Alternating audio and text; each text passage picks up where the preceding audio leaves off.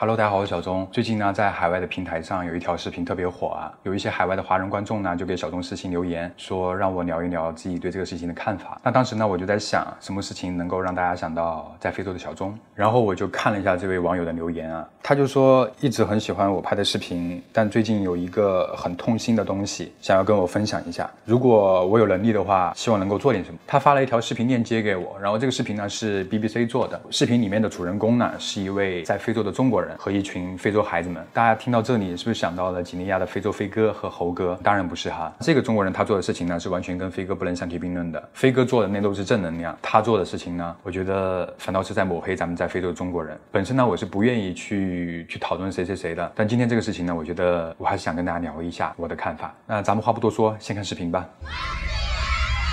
大家可以听。February 2020, a shocking video surfaced in China. Off camera, someone is giving African children sentences to repeat. 我是黑鬼，我是黑鬼，是杀鸡，是杀的，耶！我不知道大家看完这个视频心里是什么样一种滋味。我觉得作为一个正常人看到这样的一个视频，心里都会很难受。尤其是作为中国人看到这个视频，我觉得应该很愧疚，因为这个视频是一个中国人拍的。他所从事的视频拍摄内容呢，主要是一些举牌，就拿着一个牌子写些什么生日祝福啊、婚礼祝福啊等等的这些内容。反正我自己是看不看不下去的那种。原视频它是拍摄于二零二零年，后面小东呢又去搜了一下视频的相关内容啊，然后我就发现呢，有一位非洲加纳的 YouTuber，他把这条视频。重新制作了，然后放在网上。小钟现在把那位 YouTuber 他的这条视频的内容给大家看一下。 Like, how can you allow people into your country to come and insult your own people? And you know, these people they sell this kind of adverts in China. When you live in China, these videos go everywhere. Not long ago, people were sending me videos from China. They use a voiceover to say that Ghana is a poor place to be. Ghana is a shrinking country that you just don't have to go there. And they were using my videos, the video that I did in my father's cocoa farm. And then they took over, they took the voice down and then added their own voice that people in Ghana don't even have water to drink. I know I decided to let it pass by because I don't want to talk about this issue. 大家应该也都知道，有网络上有很多的一些视频创作者，他们拿着非洲的一些视频素材，我也不知道他们哪儿找的，然后一味的去说非洲有多么穷，多么的不堪，大概都是这些话术吧，然后以此来博取流量。我记得之前在知乎有一个话题很火，是不是非洲人都去感谢中国人？你到了之后你就知道了。所以大家想想，有一些人他们做的一些事情被传到非洲之后，别人是如何去看待中国人的？当你的国家被一味的贬低，被一味的说贫穷、说不堪、说疾病，你是一种什么样的感受？然后在片尾呢，他就留下了一句含骂量极高的中文。我操，你妈了个逼！所以大家看到了这个含骂量极高的这句中文了吧？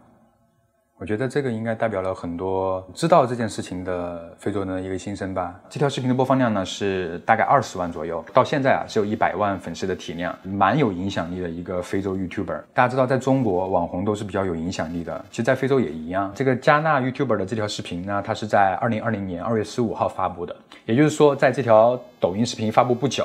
他就把它放到了 YouTube 上面，但那条视频呢，当时也没有大火。直到两年后的今天啊，BBC 的一个纪录片的制作团队，他们呢就根据这条视频呃按图索骥，就发现了这条视频呢是在非洲的马拉维拍摄的，所以他们就来到了马拉维，通过暗访的形式啊，就找到了那位拍视频的拍客。我这个，这是我的，这个是你的。嗯，哦，错，这个不是我的。我建议你手机不要留这个东西，嗯，不要给黑人看到这个东西，不然的话你会被他们攻击的。然后后面呢，这个 BBC 的记者啊，就直接找到了卢克，举着摄像机问他，这视频是不是你拍的？我是黑贵纸上帝，这是你拍的吗？这不是我拍的，那那那真的不是我拍的当记者问他为什么要拍这些视频的时候，你为什么要拍这些视频呢？因为我想传播一种中国文化、音乐、舞蹈，这里都包括已经中国的文文字、汉语 you you know 文字、中国文字，还有可以唱中国歌，哦然后又跳跳舞，这个意思哦。主要目的在拍这些视频的时候是什么？你要挣钱，还是你要帮哦，我助当地人不赚钱？，这哦是吗是公益公益。当他说到自己在传播中国文化的时候，我不禁想到了网络上那些在各个国家打着传播中国文化为幌子的一些拍客们。大家知道，近年来呢，短视频特别火，就越来越多的一些旅行博主啊，在非华人啊，就通过短视频的平台来分享一些自己在非洲的一些生活啊、工作啊，还有旅行。我觉得这都是一些好事情，能够让国内的观众以及海外的华人。更好的了解到非洲，认识非洲。但是呢，就是有少部分人啊，他们打着这种传播中国文化或者是做公益的这种幌子啊，以那种比较高姿态的去帮助那些人。其实对于我个人，我作为一个视频创作者，我也想要流量，我也很想要大家去更多的关注我，更多的去看我视频，然后我也能赚更多的钱。但是我觉得这种视频，我始终就是拍不了，我也不知道怎么样去拍，就感觉自己也。说不出那些话。对于卢克的这种行为吧，我觉得我作为一个中国人，作为一个在非洲生活了五年的人，实在做不到无动于衷。其实我也想到过发这条视频的一些后果啊，因为我也知道国内的人对于非洲人的舆论是什么样一个风向，可能会有一些观众说我落井下石去踩别人，但是我觉得这都不重要。我觉得像那位卢克，现在应该十分懊悔他的行为吧。但我觉得怎么说呢？作为一个成年人，你就应该为你的行为负责。大家可以留意一下他在拍视频的时候，我是黑鬼，我是。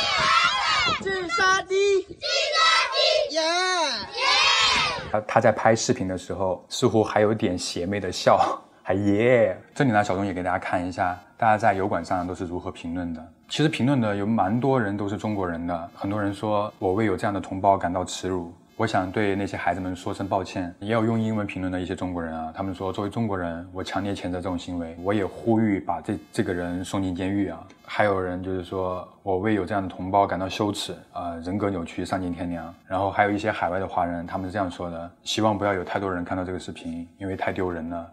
他是一个华人啊，他不一定是中国人。还有说的是，作为一个在非洲生活的中国人，我尽我最大程度去尊重每一个人，尊重每一个宗教。他们和我们没有太多的不同。我喜欢非洲的孩子们，不应该被视为是一种生意。看到这个视频，我很心痛。当我们在这里建学校、建医院，但他的行为属实是打了我们的脸。所以，作为中国人，真的是表示很惭愧，也很抱歉。还有一位其他国家的华人啊，中国人现在的文化就是喜欢看这种虚伪的暖心故事，尤其是在看外国人歌颂中国的影片。这个事情其实，在巴基斯坦、在孟加拉应该是比较严重吧。我也不想多说了。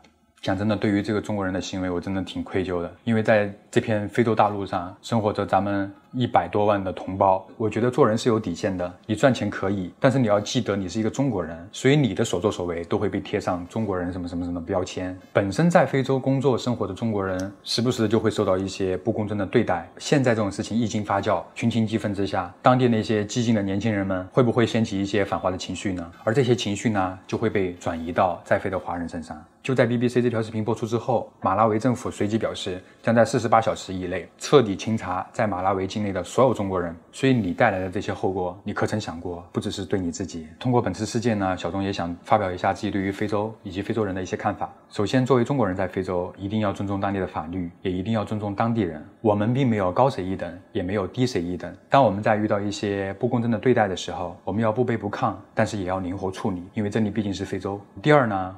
我们来非洲是工作的，是来赚钱的。别人并没有强迫你来这里，所以既然你来了，你就得学会去理解、去尊重、去接受，这点是很重要的。